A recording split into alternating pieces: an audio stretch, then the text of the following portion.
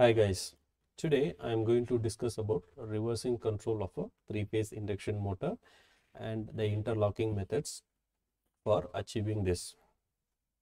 So first let us see what is reversing control of a three-phase induction motor.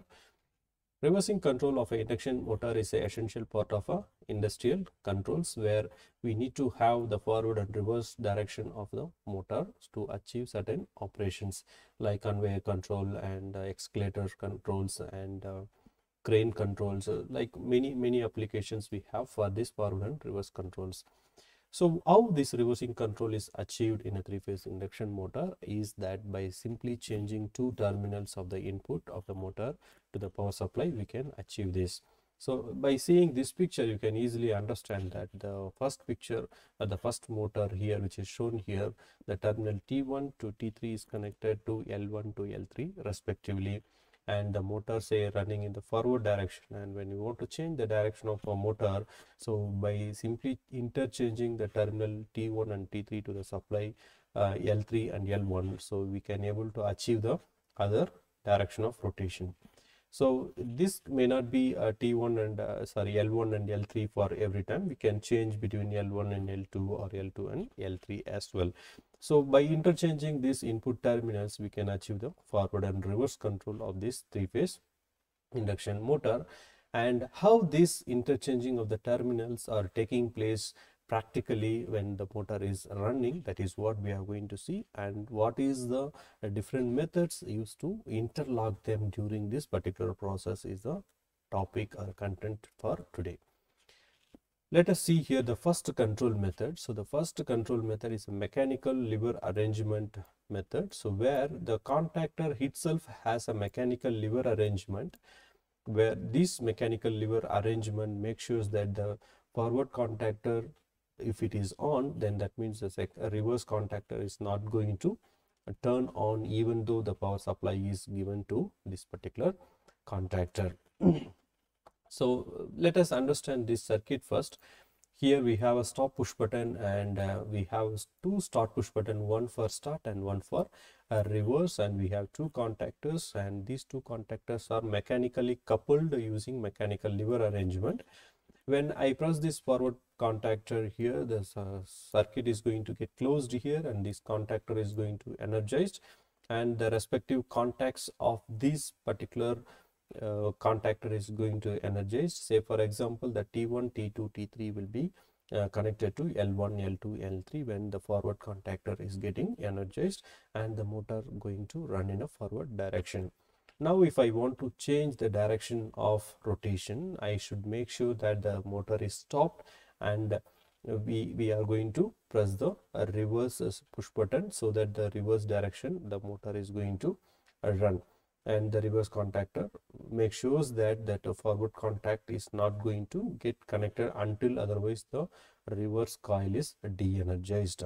So this operation you can see this is a contactor which we are going to use for forward and reverse control. It is mechanically interlocked. Here we have a interlocking uh, mechanism here.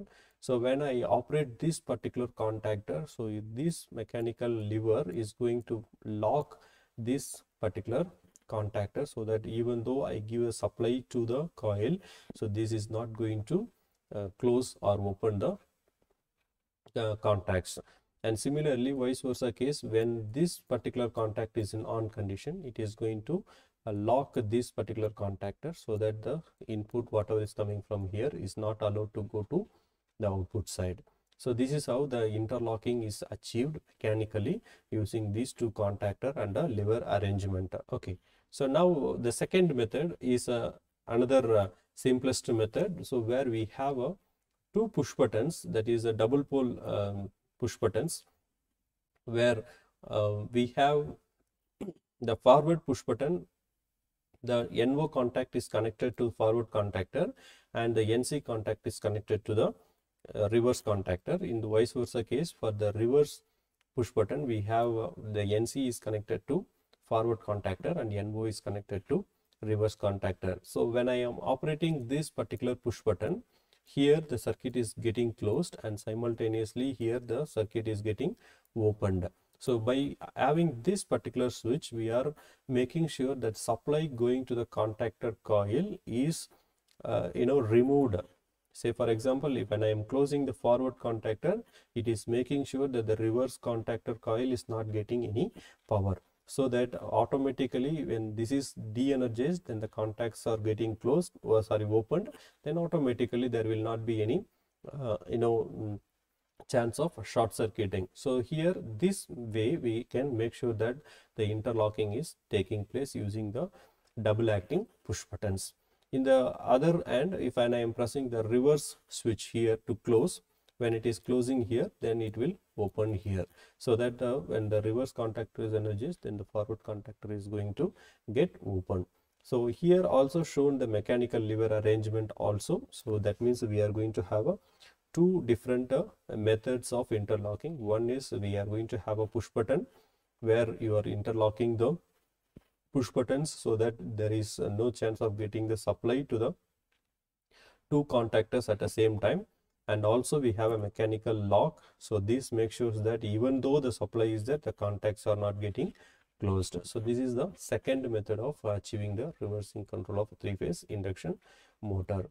Then the third one is the electrical method. So where we are going to have the auxiliary contacts of this forward and reverse contactor to make sure that the uh, supply is not reaching to the respective uh, you know contactors so here you say for example when i am closing this uh, forward contactor switch then automatically the power supply reaches to forward contactor and the forward contactor uh, contacts are getting closed so that the latching process taking place here. Then the motor is running in forward direction and in case if you want to operate the motor in reverse direction if i press this switch what is going to happen the switch will be closed here but here the forward contactor contact is going to stop the current flow to the motor because it is a NC contact when the motor is running in forward direction. So this will open the circuit. So when this is open then the power supply will not reach to this reverse contactor. So obviously the reverse contactor will not get energized. So it will not allow the reverse contactor to work. Also we have a mechanical interlock even though if this particular contact is uh, uh, due to some failure or something if the power is achieved re reached to the reverse contactor the mechanical locking method will not allow the reverse contactor to energize when the motor is in forward condition. Until otherwise you stop the operation and uh, again start with a reverse control. This particular method will not allow the forward and reverse in the same time. So this is the total uh, wiring diagram with the power circuit as well as the control circuit. So here uh, let me uh, let me show you this uh, forward when this forward switch is closed then the forward contactor is going to energized you can see in the red red color lines. So when this is uh, energized then the latching is taken place here and because of these uh, forward contactors are getting closed then obviously these close contacts are getting closed then the motor is going to run in forward direction. And if I uh, press the reverse switch here you can see it is uh, open. So because of this open the reverse contactor is not going to energize as well as we have a mechanical interlock as well here. And in the other hand when I operate the reverse switch here the reverse contactor contacts are getting closed. Here the latching is taken place. And the reverse mm, direction the motor is going to run in a reverse direction like this. And the reverse contactor here it is getting closed and because of that the reverse contactor here contacts here it is getting open so though if i try to press this forward contact uh, switch or the input switch then the supply won't reach to the forward coil because of this opening contact here so also in case any failure in the contactor contact as well, the mechanical lock will make sure that there is no supply achieved or reached to the forward contactor when the motor is in running, reversing, reversed condition. So the total uh, protection or total system uh, mostly in industry how they use they use mechanical push button as well as auxiliary contact all are uh, used simultaneously mostly because uh, the motors are very costly and safety is very important aspect of any industrial motor control circuit. So you can see all the three methods are uh, implemented here. We are having the mechanical lock here and we are having the double pole switch interlocking here and then we have a auxiliary contact interlocking here.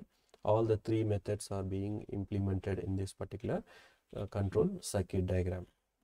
So how this uh, control circuit diagram are connected in the wiring diagram or the how the wiring is being achieved. This is a main switch and we have a fuse here and then the supply uh, for the motor is going through two contactors. One is forward contactor another one is a, a reverse contactor. So the forward contactors are connected l1 l2 l3 connected to t1 t2 3 3 t3 so just like this l1 connected to t1 and l2 connected to t2 and l3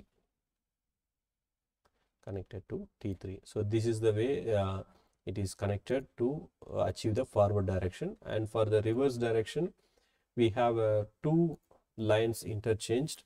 So here the L1 is going to L3 so the L1 this is L1 so it is coming from here no? so this is L1 is connected to in the reverse control it is connected to T3 here.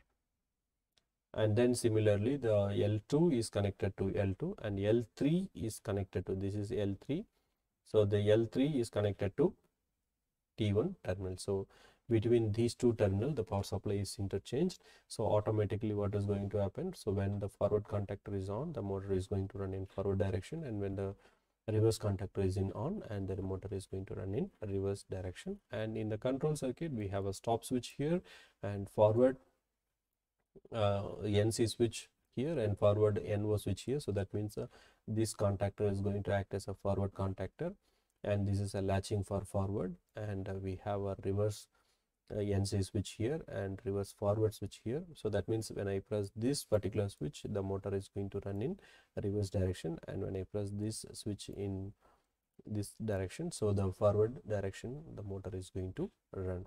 So when I operate this reverse push button here, it makes sure the reverse contact, uh, the forward uh, contactor is going to de-energized by opening the uh, switch here and vice versa case when I am pressing this forward switch here this is going to close and going to give the supply to the forward contactor and uh, simultaneously here the supply will be turned off to the reverse contactor. So this is how the wiring is being achieved for this interlocking method of reversing control.